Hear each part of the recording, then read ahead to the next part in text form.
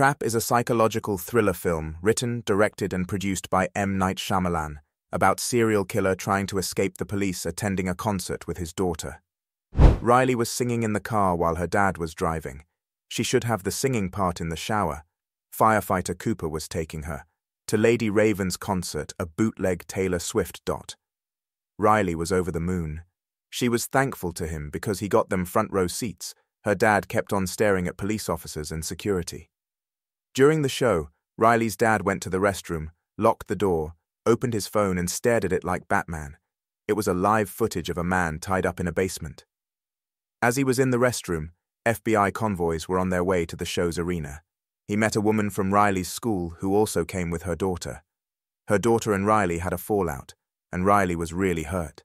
The woman asked if Riley and her daughter could still be friends, but Cooper, Riley's dad, couldn't accept so he went back to his seat and told Riley about it. Riley and her dad went to get food before the next performance began. She also wanted a shirt, but it got sold out for another group ahead of her who wanted the same thing.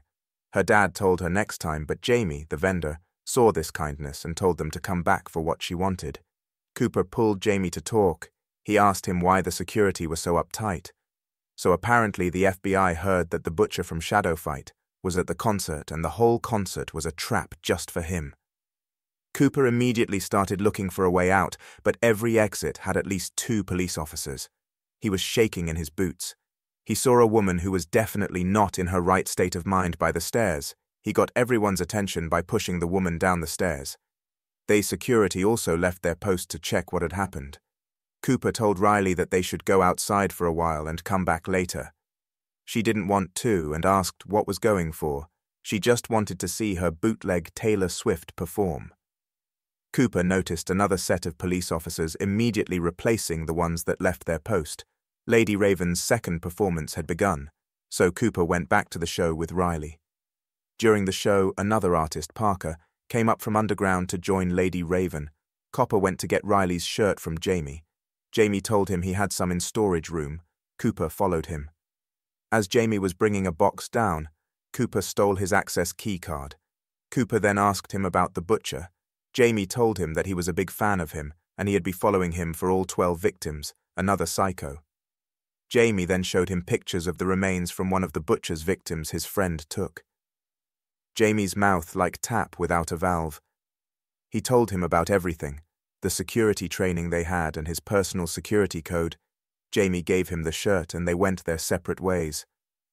Cooper used the key card to enter the employee's room. He saw police officers fully geared up talking about one of his victims.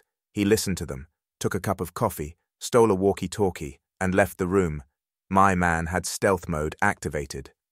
On his way back, he was stopped by a Karen. She wanted Riley and her daughter to work things out. Cooper was clearly not in the mood for small talk, but she kept on insisting during their dispute Someone got arrested, and Cooper was more agitated. He told that they can meet tomorrow for pizza. The girls will work things out there, she agreed, and he went back to the show. He was listening to the FBI's radio through the walkie talkie as they were describing who they were looking for. He told Riley that he forgot his arm card at the t shirt stand and left her once again. He was looking at the cameras because he wanted to trigger the fire alarm. He then heard Dr. Grant, who was an FBI profiler from the walkie-talkie, alerting the security units about exactly what he was about to do. She read his mind like Charles Xavier. In any event whereby people needed to be evacuated, only women and children would be allowed to leave. The hunter had become the prey. Cooper followed the crowd upstairs. He saw a fries stand, went over there, and when no one was looking, he turned up the fryer and dropped bottles in the oil. A lady passed and noticed the bottles but before she could do anything, it blew up all over her. Cooper used the commotion to wear one of the staff's aprons and snuck to the rooftop. He was stopped by a security unit. They questioned him. He told them about the kitchen accident and that they need some air. They confirmed the accident and asked him for his keycard. He showed them, then asked about the person in charge before walking away. Riley saw him walking and asked him if something was wrong, and if he wanted to go home, he quickly made an excuse using the Karen. Cooper definitely wasn't happy. He just stared like Gustavo Fring while his eyes were twitching as if he had too much caffeine. Riley got his attention and told him about how in every Lady Raven's show, a fan gets chosen to join her on stage and backstage. Cooper saw this as an opportunity to find a way out. He approached one of the staff's N who happened to be Lady Raven's uncle and told him about how his daughter Riley was Raven's biggest fans and that she just recovered from having leukemia. If he had a dollar for every lie, he would be Elon Musk. Riley got picked as Lady Raven's dreamer girl. She was spazzing out. She couldn't believe it. They got a VIP pass and were escorted to the stage. Raven called Riley out to dance with her on stage. The Karen and her daughter Jody saw Riley on stage and were in complete disbelief. Cooper also noticed Dr. Graham in the crowd. After Riley's dance, he was looking for a way backstage. He saw a young girl about to collapse and quickly grabbed her. He used that opportunity to tokai her backstage to the nurses. The nurse was really happy with the way he treated the young girl and asked if they could keep him. Riley and Cooper watched Raven's last performance from backstage. Cooper couldn't stop staring at Raven. During the last performance, Cooper asked one of the staffs if he could exit from the back after the show. She said yes. What a mastermind. After the show, Cooper once again listened to Dr. Graham through the walkie-talkie. They were going to question every single male that attended the show. Raven met Dr. Graham to check if he had been caught.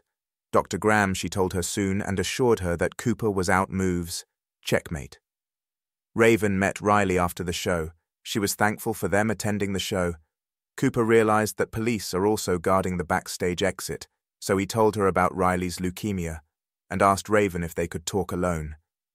They went to her changing room and told how carbon monoxide could be lethal in small spaces. Raven was confused. He then told her that they were looking for him. He then showed her the live footage of the man he had tied up in a basement. Raven was terrified. He told her if didn't get out of there, he would press the button for the carbon monoxide to be released and the man will join Jesus in five minutes. He gave her two options. Either she saves the guy, Spencer, or he gets caught and Spencer sees the light. They entered Raven's limo and got out. Cooper told her to drop them at nearest corner, but Raven asked Riley if she could drop her home. Riley was beyond euphoric. She called her mother and told her about what was going on. Back home, Riley introduced her mother Rachel and her brother Logan. Riley ran up to her room. Rachel rushed to the kitchen to make something, and Cooper threatened Raven to do nothing, or else he will kill the boy. Rachel made pies, and as they were eating, she asked Raven about her concerts. Raven told her that today's concert was strange because the FBI and the police department were on the lookout for the butcher because he made a mistake. The police found a portion of a receipt to her concert in one of his fake houses, they had no idea why, because most her fans were teenage girls. Rachel asked if he was caught. She told her no, but they told her a lot about him. Raven described him to her, his age, race, and the color of his car. Cooper asked if they had pictures of his car. Raven told him no, but they knew the color because he was an organized offender, and those types of criminals usually use black cars due to their OCD. Before she could go deeper, Cooper stopped her and asked leave because she must, must have been tired. Raven then suggested a song on their piano with Riley. She played one of Riley's favorite song and she sang along. After the song, Raven asked if anyone had seen her phone, snatched Cooper's phone on some Barry Allen shit, went to the toilet and locked the door. Cooper was livid. He knocked and kept on banging the door. Rachel, completely baffled, asked what was going on because he was scaring the kids. Raven opened the live footage for a mastermind he didn't and asked Spencer for his location after he described whatever he could. She logged into her Instagram and went live, telling all her followers about the situation. She also texted her driver to call the police. She then started shouting that Cooper is the butcher. The how was suddenly quite. Cooper opened the door, checked his phone, and saw that Spencer had escaped. He placed his hand on shoulder and took her to Rachel's car. He told her that they were right about the color of his car. They got in the car and Raven pretended to be his mum she was demanding him to stop. Cooper knew what she was doing and played along. She then tried to persuade him to stop. He told her that he will do it one last time and then kill himself, for it was the only way to stop the monster. His family stood in front of the car terrified. Raven slowly got down from the car and took the family to her limousine. Cooper told Riley that everything will be okay with girls at school. Rachel shouldn't let the water heater guy scam into buying a new one, and Logan should hand in his science project. 100% steez and composure. The FBI, SWAT, and police department quickly surrounded the house.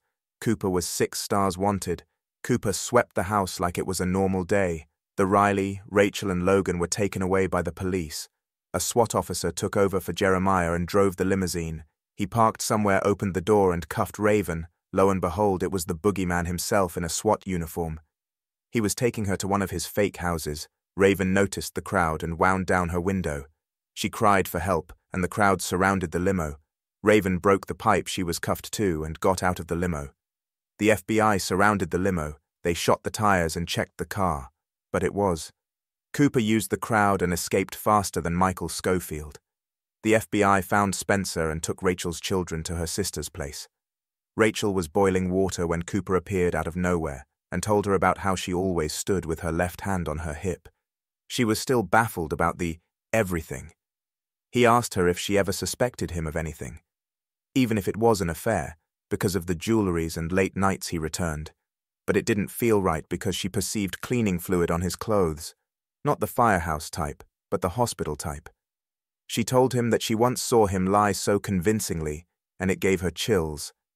She followed him one night to one of his fake houses. There was nothing there but a table and a chair. He told it was the place he went just to think. Rachel couldn't shake the feeling off that her husband might just be the butcher.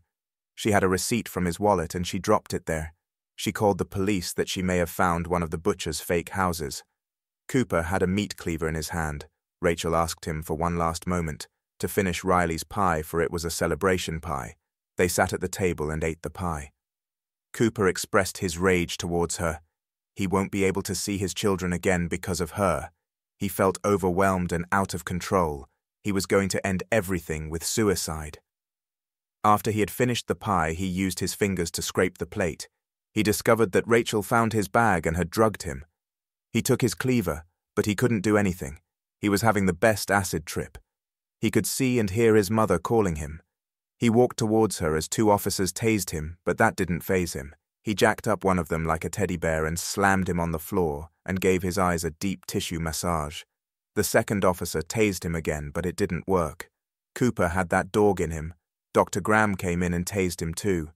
He was probably feeling Thor with all that electricity flowing through him. Cooper finally stopped moving and was arrested. Before he entered the police van, he picked up the bicycle in front of the house and placed it properly, a car brought Riley back and she hugged Cooper one last time. On their way, Cooper brought out the spoke he took from the bicycle. He uncuffed himself and laughed. The butcher wasn't done yet. Thank you for coming with us to the finish line to this thrilling story about Cooper. If you loved this captivating thriller, please do not hesitate to subscribe to our channel on YouTube and turn on the notification bell. Also like our videos and leave a comment below them.